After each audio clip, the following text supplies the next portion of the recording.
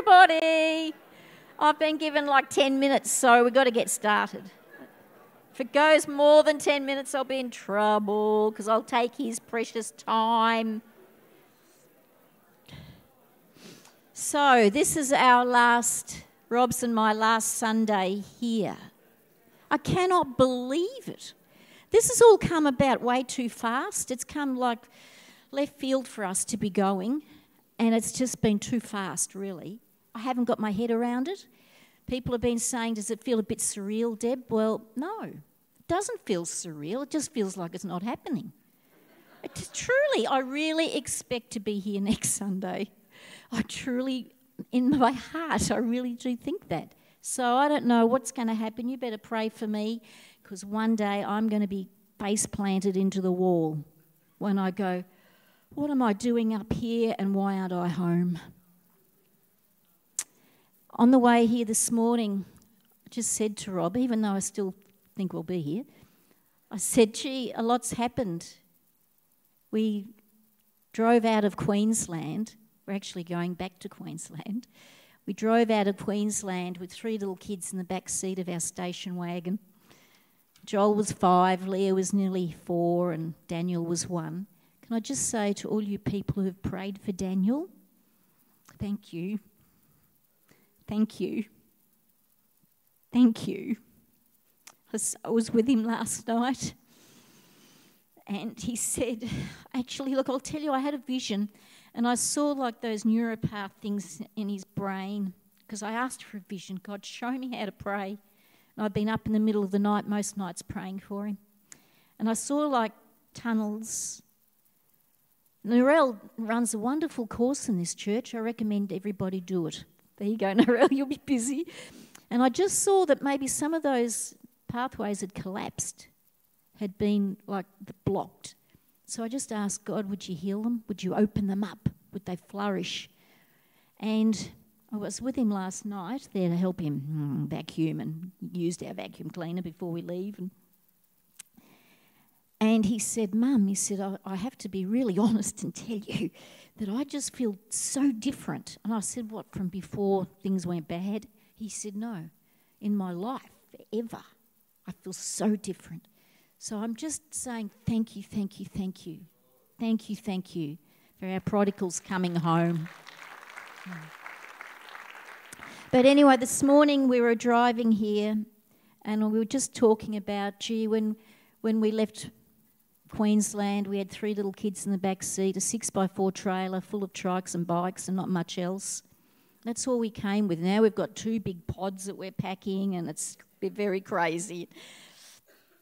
But so much has happened. We came, we left. Rob left a big promotion, big pay rise. Life was looking very successful, but we'd got saved three years before, and our families down in South Australia weren't saved. I've, I've got a lot of family in Queensland, which I'm going back to, but a lot here, and Rob's were all here. They weren't saved. So we laid it all down. And it's not, I'm not being noble or anything like that. It's just saying that's what we did. We laid it all down. And to see our families get saved. That was the only reason. Came to no job, no house, just our six by four trailer with three kids. And this is what God has done. So we got to Queen. Uh, we got to. We got a house in Coromandel Valley. We'd been saved in a little church with every denomination in it, about 30 people. And we thought that was the church we'd find in Adelaide. Every denomination in it, loving every denomination. And somehow we ended up with this house church. You know, we were setting up house, and every time I'd buy a coffee mug or a rake, or a cushion cover. I just would hear this verse. It's Isaiah 66, verse 1. This is what the Lord says Heaven is my throne, the earth is my footstool. Where's the house you'll build for me? Every time I'd buy anything, pillowcase, where's the house you'll build for me? Where, is my, where will my resting place be? Has not my hand made all these things? And so they came into being, declares the Lord. Drove me mad, that verse. I felt guilty every time I bought something. So I thought, well, God, we'll just love people. We'll just start loving people. And we did. There was a mum at school whose half, her kitchen had half burnt down. Did we really love that lady? No.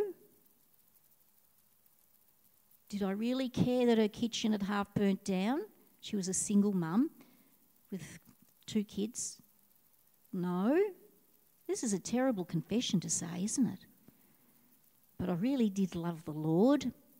And so I asked him, God, what do you want me to do about that kitchen? Everything has always been about him. And that's probably why Gary and Sarah are coming now to grow this place full of people. Because every time I read the Holy Scriptures, it's not the holy me, myself, and I. Every time it's about Him. And so the scripture in Matthew 6:33 that says seek ye first kingdom of God and all these things will be added to him. That doesn't mean when you gave your heart to him 5 or 10 or 15 years ago. Oh yes, I've become a Christian. Yes. And so I'm seeking the Lord then. Verse is for every moment of every day. Seek ye first the kingdom of God and all these things will be added to you. So I could prattle on here, I suppose, and I'm not allowed to. Rob's going to preach. I've never been a preacher. He said, Oh, don't tell too many stories, Debbie. I said, Oh, people love stories, Rob. yes, did you hear that? You heard clapping. So some people have said to me, Look at the church you're leaving behind. Yeah, but it was never for us or, or even you. really. This was built for Jesus. It's all about Him. Every time we open our mouth, every time we do something, every time we started a life group, it was never about for the people. People thought it was for them. Somehow we made them think that. it's always for Jesus, that this place would be buzzing for Him. It's the Holy Scriptures. Every verse in the Bible is about Jesus, it's about the Lord. But you know, we read it like, oh, seek ye first his, oh, but, and then all these things will be added to me. I'll have nice clothes, I'll have a nice house, and I'll have this, this, this, this. It's all about him. It was lovely seeing you nearly cry today, Lockie. I thought, yes, you get him, God, you get him. So I feel like we're going from the pan into the fire. I don't know what's going to happen. You know, even half the churches don't like ACL, let alone the world. So we've got about, what's that mean? 5% of someone might like us in the whole world. I don't know. But you know what? I don't care because it's all about Him. I'm just so thankful for what Jesus has done in my life. You know, if there's coffee spilled out in the, in the cafe, we can go, oh, oh, I don't have to clean that up, do I? Don't they have a cleaner? I know the cleaner's coming today. Or it's about his house still. We don't ask, should I clean that up? His house is dirty. I'll, I'll get the mop. Or anything with anybody that you know. Even if you don't like them, that's okay. Even if they're a Christian and you don't like them, that's okay. What would Jesus want you to do for them? So I just pray that this place is going to prosper it's going to be overflowing with four services on Saturday and Sunday and Friday night and Thursday night. And I just pray for like not a Toronto blessing, but a Southland blessing here that's going to reach out far and wide, even across the world. Do you know how Southland got its name? We became a vineyard, and so we put our name forward to America. We'll be called Adelaide Vineyard. No, no, no, no, that's too controlling of the city. Pick another name. We're dealing with Americans. They don't really know much about Australia. Well, how about Southland? You know, the great Southland, all of Australia. No, no, yeah, that's a good name. That's smaller. we just laughed. I better hand over the mic now. Come on, Rob. But the legacy we want to leave here in this place and I think it's why a lot of people don't stay. It's not about me, myself, and I. This place and every group that is started, even spot fires, you know, It's not about, oh, Gary, you can, Sarah, you can fix this up next week. You can say Debbie taught heresy on Sunday. It's not about you feeling comfortable and feeling proud that you got up, uh, that you came on Thursday night, gave that up. It's about Him. It's about meeting together for Him. Oh, and here's a little quick thing about life groups. We get some very talkative people in life groups, and I have been one of them, and I've had to learn. And if, so you can think of it this way if there's an hour to talk and there's 10 people in the group, you get six minutes only. You don't get 30 minutes to talk. Because actually, I've had to learn this. I'm talking to myself here. Us talkative ones can actually kill the group and we actually think that, oh, everybody wants to hear what we've got to say. Why am I saying this? This is, this is really easy for you, life group leaders. I've just said it for you. Work out how many people are in the group and divide it, and that's what you get. So, goodbye, my friends. You have been become my friends and family. Some of you I'm very close to. Don't know why that is. Some of you I'm getting to know. I really don't want to let go of this microphone.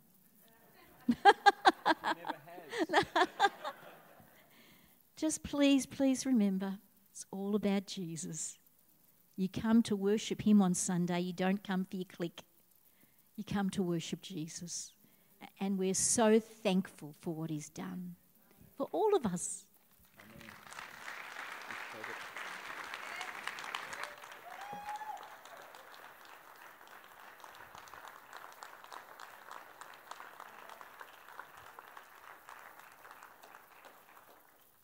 I feel a bit like, is that working? Yep. I actually feel a bit like John Farnham. I reckon we've had about six farewells in the last three months. And I'm not going to sing either. But seriously, the last six months has just been an absolutely incredible journey, and we haven't even started yet. We haven't even hit the road. So Wednesday morning, Deb and I will be up at about 5:30 in the morning. Uh, we'll be in our car that'll be loaded up with luggage and other things you don't need to know about. And we'll be heading to Queensland. And we'll arrive on Thursday evening. Um, and then next Monday morning, I start work, and I think I've got about three scheduled meetings through the week around the place on topics ranging from Human Rights Commission to COVID lockdowns to whatever else issues uh, Zoe's Law, all sorts of things that are popping up, and it's, it's quite daunting. So you'll need to pray for us because uh, it's going to be a little bit different. But what I wanted to, uh, what I wanted to speak to this morning is something that's very historic for us as a church. And I want to talk about what it means to be a prophetic church. In many respects, I want to encourage you, and I want to encourage you, particularly in the journey ahead, because this is going to become a greater challenge as we move ahead. A prophetic church is a church that proclaims the truth, and it proclaims the truth to every realm of humanity, every part of society. Um, it, that includes the sacred, in other words, church. It also includes the secular, in other words, when you go to work, when you stand on a street corner, when you go to the club, when you hang out with friends. Even more than that, a prophetic church speaks that which God has instructed her to speak. And I say her because that's the correct gender for the church. Without embellishment and without trying to make the message more palatable to those who are receiving it. That's a really important part of it. And once we start messing with that last few words, the church ceases to be prophetic. It starts to be what we think it should be. The 21st century church, I think, is in great and grave danger of modifying the message to make it more palatable. Because that's what the world wants, and that's what we've provided. Now, we've been through two or three years of very interesting times where, in many respects, the church has had a chance to speak prophetically and we've gone missing. We've basically melded into the world. Now, for better or for worse, there could be good reasons for that, and I'm sure it can be rationalised. But, guys, we've got to be careful that the message we bring is unadulterated. It's either directly from Scripture, and you guys know that Scripture has always been our foundation. This church was built on a Bible, by the way, and it's under, I think, the second lift, the one on the left. If you go right down into the foundations, there's a big old black leather bound Bible in that foundation. And that's not just a, uh, a symbolic thing, it also speaks of our heart to speak the truth. And so the church is in danger. We're, in a, we're at a crossroad. And when I say that, I'm, t- I'm speaking about collectively the church. And may, though it may seem prudent to reinterpret what to many is antiquated scripture and redundant prophetic language, we've got to resist doing that. We mustn't do that. Yes, there is a, a case for helping people understand, taking them through the historical context, exegeting scripture accurately. We should always do that. But we've got to be careful not to reinterpret it. You see, redemptive history tends to repeat itself, and what we see throughout Scripture and even post Scripture is that we see shadows and types of things to come. And so, as a prophetic church, we are a shadow of what is coming. We're meant to represent heaven. I want to this morning uh, use an example through the prophet Elijah. I think this guy was a person who completely epitomized God's intention for prophetic ministry. I actually think he's a type for the church. And I think if we look at his ministry, we should see a reflection of who we really are. If we don't see that reflection clearly, then perhaps there's something wrong. So the New Testament verifies this. If we look at Matthew 17 and think about the, the Mount of Transfigurations, just picture that situation. What we see there is Jesus standing with Moses and Elijah. He's standing on the Mount of Transfiguration. Remember Peter, James, John watching on, the inner circle checking them out. So, what you see on the Mount of Transfiguration is the law and the prophets and the New Testament all together Moses, Elijah, and Jesus. And so it's important that we remember that those three aspects are actually eternally of great use. They never passed away. The prophetic message began in Genesis and it ends in Revelation, and then we get to live it out. Elijah's battle, as documented throughout 1 Kings with Ahab and Jezebel, is a battle that has recurred throughout redemptive history. And the book of Revelation tells us that it will keep going right till the very end. You see, Elijah was sent by God to confront the most evil regime in history. Now, I believe that that is a type for where the church is at today. If you look at the ministry of Elijah, it didn't end in the Old Testament, it continues right through to the book of Revelation. These three, Elijah, Ahab, and Jezebel, are actually types of things that were yet to come, that we're now being confronted with. Ahab was the representative of government. Jezebel was obviously the representative of the evil influence of the world. And then you've got Elijah, who is the prophetic voice of the church, speaking to those things sometimes with fear and trepidation, but never backing off. The church of Thyatira in Revelation 2 had surrendered its prophetic authority and it had been seduced by a spirit of Jezebel. This is how we know that this is an eternal thing. It goes right through to the end. In Revelation 2, verse 18, it says this, and you might note this morning there's no text on the wall. My PC's packed, it's in the second pod. So I didn't get too carried away with trying to prepare a, um, a PowerPoint. And secondly, you should bring your Bible with you to church every single week. So if you have your Bible, open it up. If you don't, open your iPhone or whatever it is that the Bible's on And in Revelation 2, verse 18, it says, To the church, to the angel of the church of Thyatira, write, These are the words of the Son of God, whose light eyes are like blazing fire and whose feet are like burnished bronze. I know your deeds, your love and faith, your service and perseverance, and that you are now doing more than you did at first. Nevertheless, I have this against you. You tolerate that woman Jezebel, who calls herself a prophetess. By her teaching, she misleads my servants into sexual immorality and the eating of food sacrificed to idols. I have given her time to repent of her immorality, but she is unwilling. So I will cast her on a bed of suffering, and I will make those who commit adultery with her suffer intensely. This is the Lord. Unless they repent of her ways. Isn't that interesting? Unless they repent of her ways.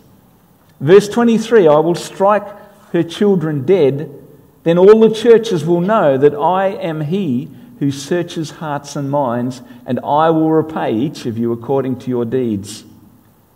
You see, in essence, Jezebel prophesied out of a seductive and worldly spirit because that's what she was.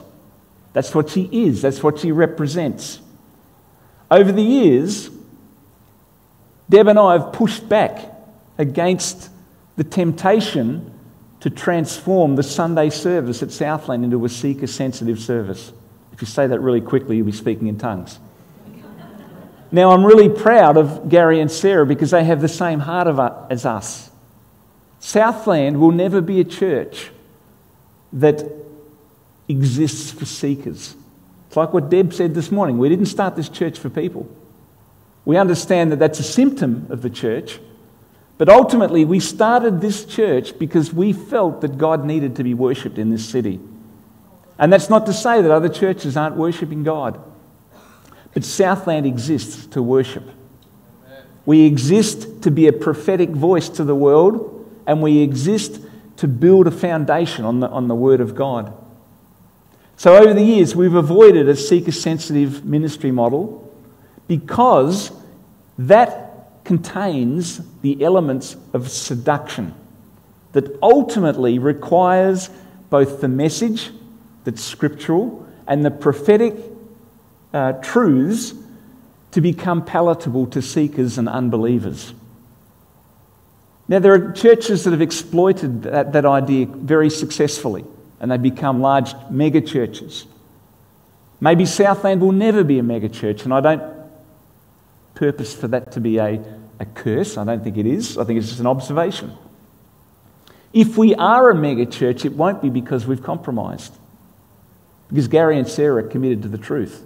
They're committed to preaching scripture. Last week, I think Gary booted the football completely out of the park with his teaching because he nailed it in scripture, and that's what we do. So Jezebel's ministry is still immersed in the church and in the world, and she brings with her a deep hatred for the prophetic ministry. She will do everything she can to water that down.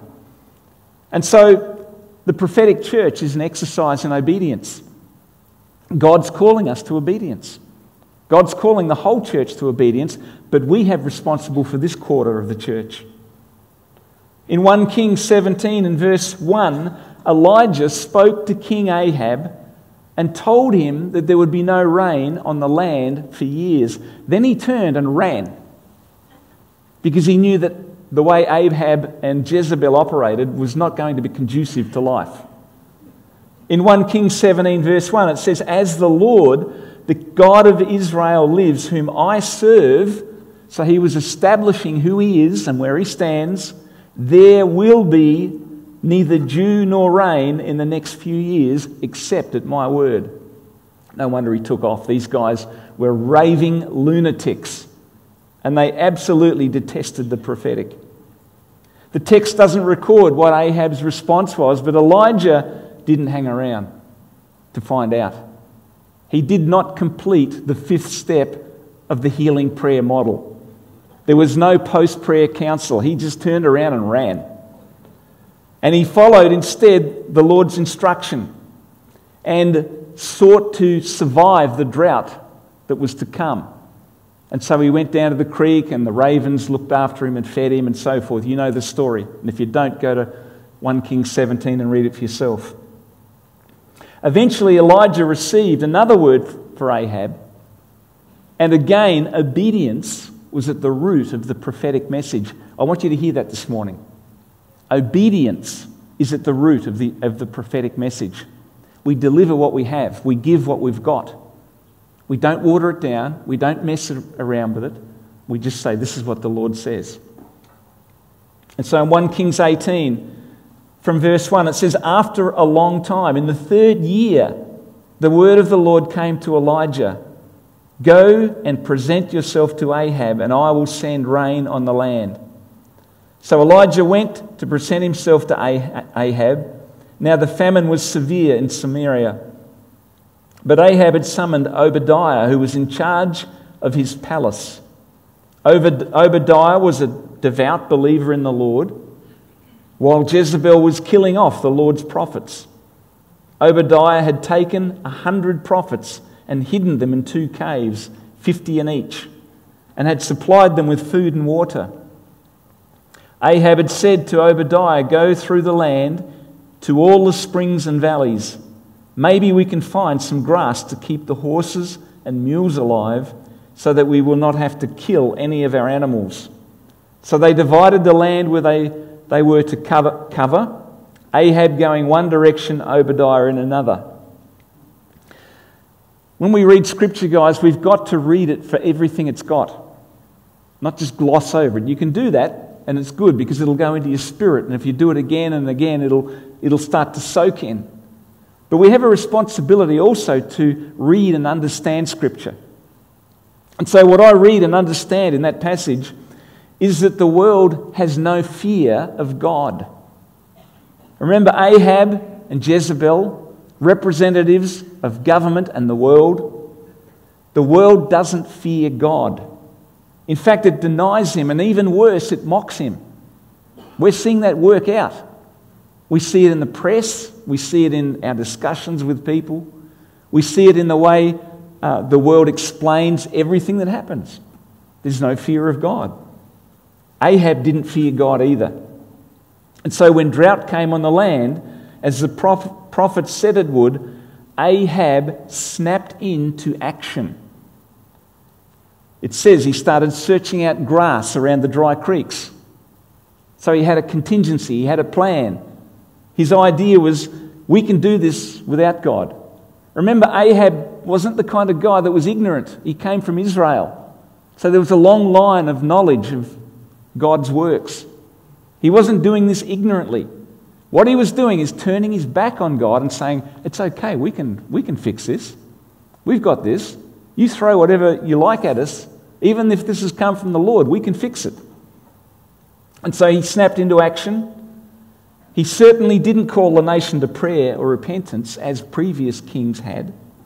Instead, he threw the national budget at saving livestock and trying to counter what God had said would happen prophetically. Does any of that sound familiar? Ahab didn't fear the Lord.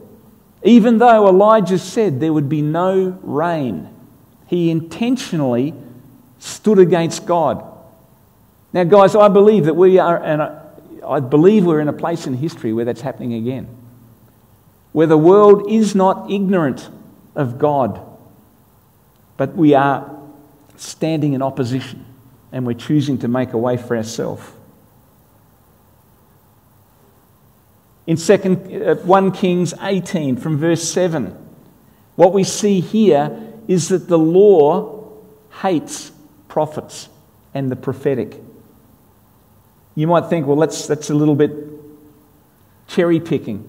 But here it is. It says this As Obadiah was walking home, Elijah met him, and Obadiah recognized him, bowed down to the ground, and said, Is it really you, my lord Elijah?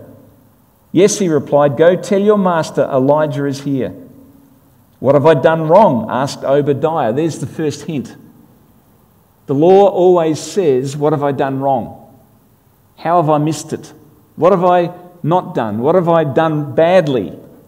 What have I done wrong? asked Obadiah, that you are handing your servant over to Ahab to be put to death. As surely as the Lord your God lives, there is not a nation or kingdom where my master has not sent someone to look for you. And whenever a nation or kingdom claimed that you were not there, he made them swear they could not find you. But now you tell me to go to my master and say, Elijah is here. I don't know where the Spirit of the Lord may carry you when I leave. If I go tell Ahab, he doesn't, he doesn't find you. He will kill me. Yet I, your servant, have worshipped the Lord since my youth. And there's the second hint. Again, Obadiah is saying, I've done everything right. Not only have I done nothing wrong, but I've done everything right. I've worshipped the Lord since my youth. I've done it consistently. I've come to church every week. I was baptized. I was confirmed. I showed up to the prayer meetings. All those things were happening.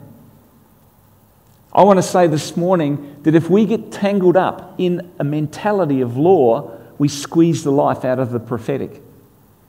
Now, does that mean you don't show up to prayer meetings or you don't volunteer to work in the cafe? Absolutely not. What it does mean is that we're not justified through those things. Verse 13 Haven't you heard, my Lord, what I did while Jezebel was killing the prophets of the Lord? And so again, Obadiah is justifying his existence. I hid a hundred of the Lord's prophets in two caves, fifty in each, and supplied them with food and water. And now you tell me to go to my master and say, Elijah is here. He will kill me. Again, he's locked into the law. See, Obadiah, as the text says, was a devout believer. He was one of us.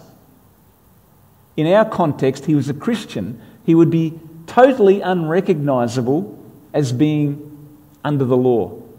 He could be the person sitting next to you. Don't look at that person because you'll start thinking bad things about them. In verse 19, when Elijah asked Obadiah to summons Ahab to meet him, his response was, What have I done wrong? How have I failed the law? You see, he was, in, he was living under the oppression of an oppressive lawmaker in Ahab. This was the response of someone whose justification comes by what he or she does rather than who they are before God. When believers live like this, and this affects the church, ministry suffers, and in particular, the prophetic ministry suffers. Obadiah then goes on to justify himself. I've worshipped the Lord since my youth. In other words, it's not only what I haven't done, it's what I have done as well. And I've hidden his prophets in the caves. I've done everything that I've been meant to do. Full stop, sign off. We've got to be careful, folks, that we don't get caught up in that kind of law thinking. And it will come, it's coming through the world. Remember, it came through Ahab, government. It came through Jezebel, who was controlling the government, the worldly influence. We've got to be careful that we don't come under that because it'll start to blind us. This is why the prophetic ministry is so important because it cuts through all that. It slices through it like a sharp knife, hot knife through butter. And what we have to do in that process is we have to learn to be courageous. This takes practice. You see, Elijah delivered the message in obedience and then ran. There's nothing wrong with that. The fact is, he delivered the message. He understood the dangers, but he wasn't prepared to compromise on the basis of the word that he brought. It says in verse 15 of 1 Kings 18 Elijah said, As the Lord Almighty lives, whom I serve, I will surely present myself to Ahab today. Now, I don't think he was getting any joy out of saying that. He was saying, There's a message to be delivered, and I'm the guy to deliver it. Remember, Ahab's the type for the church. And so, this is the attitude that we need to have. There's a message to be delivered. It's not going to be popular. I'm not going to get top marks for the vote, but I need to deliver it. And then it goes on in verse 16 So Obadiah went to meet Ahab and told him and Ahab went to meet Elijah. When he saw Elijah, he said to him, I love this, this reminds me of Corey Akeley every time. Is that you, troubler of Israel? I have not made trouble for Israel, Elijah replied, but you and your father's family have. What an incredible declaration of the truth. Remember, this is the king he's speaking to. You have abandoned the Lord's command and followed the Baals. You see, that's what truth does it cuts through the rubbish. To the world, the church is trouble. Our trust can't be in governments, it can't be in the experts, and it can't be in anyone else but the one who appoints them. And that's our God. Don't forget, Elijah is speaking to the king. Now, if the king, king came to visit you, I want you to picture this. If the king came to visit you, or the queen, however, whatever you see the picture as, I can guarantee that he doesn't come alone. He'll come with the Secret Service in an American context. He'll come with the Republican Guard. He'll come with knights. He'll come with the cavalry. But the king will not travel alone. So when he comes to visit you, it's a pretty scary thing. You see, the biggest weapon against the prophetic church is intimidation. And it will always come. It'll often come from within and within the church. But if it doesn't come from there, it will definitely come from without. When you look at Elijah, he wasn't intimidated. He was smart, he knew when to run, but he wasn't intimidated. And so the prophetic ministry friends and family has got to be absolutely courageous. There can be no compromise with evil. And this is why the world needs a prophetic church. In 1 Kings 18 and verse 19, and we're just following through with the text, it says, Now summon the people from all over Israel to meet me on Mount Carmel. This is Elijah and bring the 450 prophets of Baal and the 400 prophets of Asherah who eat at Jezebel's table. So Ahab sent the, the word throughout all Israel and assembled the prophets on Mount Carmel. You see, again, the prophetic ministry is not hidden, it's very public. And so when we say something, we should expect it to be reverberating through society. If it's not doing that, they're not hearing us. If we're not saying something that reverberates, then it's just mingling in with the rest of the world. Prophetic ministry brings the vision, it separates right from wrong, good from evil. You see, the church has an aversion towards doing that. We don't like doing that. And we're getting worse at it, actually. We, we, we're in a situation where all we want to do is please everybody. And when you try and please everybody, nobody hears the message. Unfortunately, the message of the church is one of division. And we mustn't shy away from that. You see, no one ever came to Christ without repenting. And so to bring, as I love the message that Lockie brought, and obviously he loved it this morning. He was connected to it, which was great. I love that message because it's a message of division. Unless you repent, you will not see the kingdom of God. There's nothing unifying about that. We have, there's a verdict that's been made against humanity, and unless we execute that verdict, people have no chance of going to heaven. And so the prophetic ministry must bring division.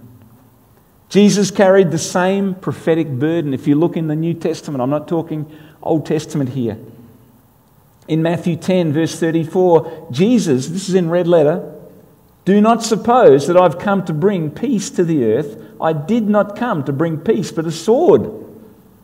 For I have come to turn a man against his father, a daughter against her mother, a daughter in law against her mother in law. A man's enemies will be the members of his own household. Wow. You see, the message of the prophetic church is not of this world. And the whole purpose for us being here is to bring the world to God, The world won't come to God on the world's terms. It must come to Him on His terms. And where we fail to execute that prophetic message, there's a world going to hell. And the burden of that rests on our shoulders.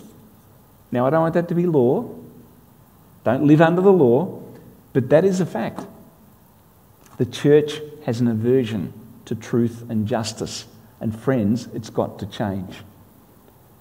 1 Kings 18, verse 21 Elijah went before the people and said, How long will you waver between two opinions? He's speaking to the church. This is Israel, the forerunner of the church.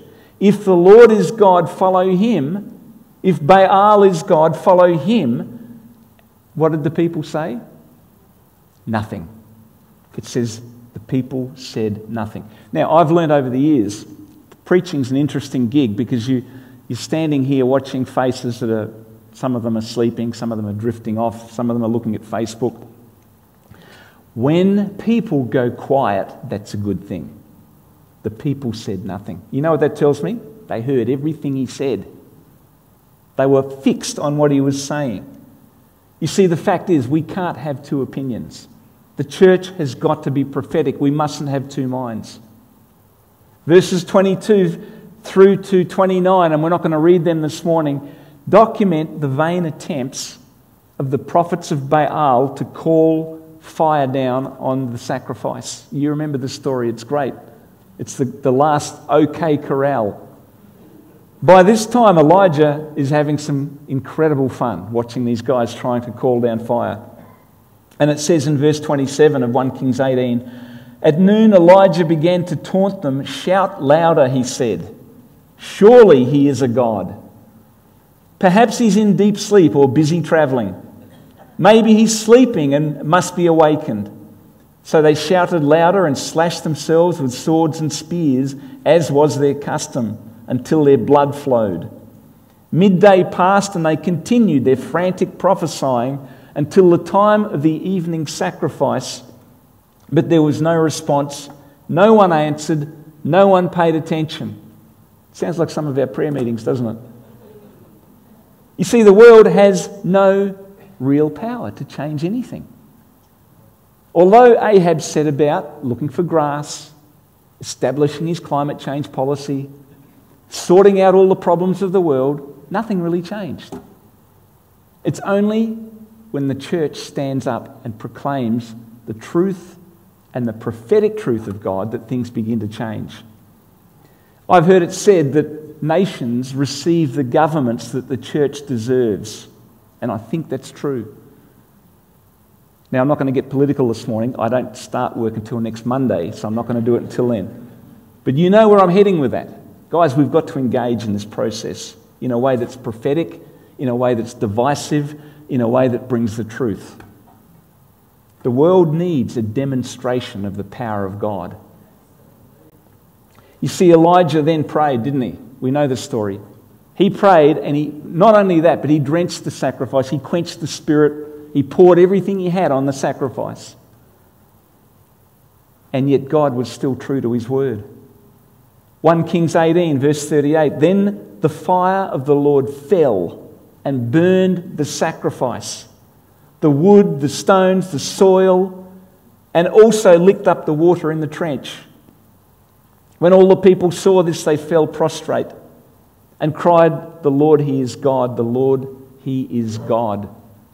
You see, the world will never acknowledge Christ until we are a prophetic church and we allow God to do what He does.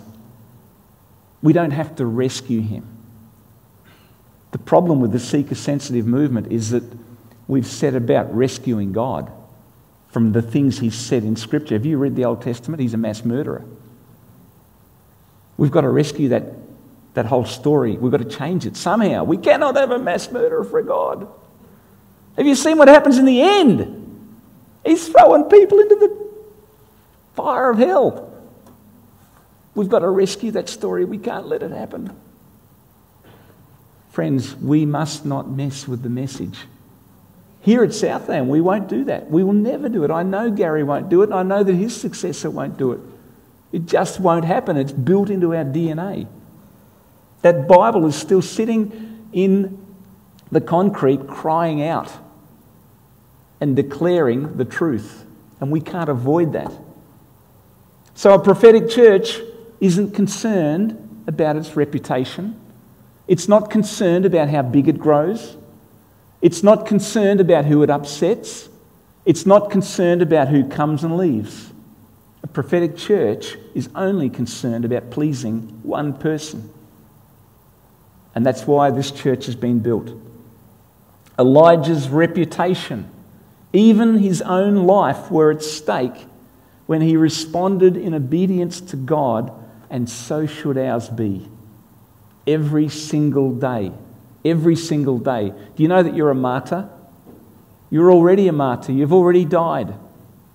That word in the Greek means witness. You've been called to witness the glory of God and tell the world about it. A prophetic church will always stand for truth. And the enemy's counter argument is that we should preach the gospel and stay away from divisive issues. Avoid ACL at all costs. Don't ever have them coming to the church. Don't get creation science in, whatever you do. Because they believe, they believe Genesis is true. Don't do that. You see, the gospel message is a message of truth. Jesus said it this way, and I'm going to finish with this scripture. We all know it. In John 14, verse 16, I am the way, the truth, and the life. No one comes to the Father except through me. We cannot take the truth out of the message of Christ, and we've taken at least a third of the gospel out. I am the way, the truth, and the life. No one comes to the Father except through me. Guys, I know that you know all this stuff. We've, this is bread and butter for us. We know this stuff well. I want to encourage you in the way forward. Southland has never pulled back. We've never shied away from things that could be potentially controversial. We haven't done it for controversy's sake. We've done it because I believe God's called us as a prophetic church to proclaim the truth of the antiquated scripture and to also declare the prophetic word of the Lord. And we must continue to do that. Again, our message we, we often think that the prophecy time during church expresses our prophetic heart, and it does to a certain extent. But that's only practice. The true essence of the prophetic church is the message that's heard out there in the world. So we come together Sunday. This is a refuge. This is a time where we encourage one another, we build each other up, and we prepare ourselves for the next week that's ahead. You've probably heard me say that we have 6.9 days of the week to serve Jesus and to do the works of the kingdom. And we have point one of the week in church on Sunday morning where what we're going to do is worship God and practice. That's true of a prophetic church.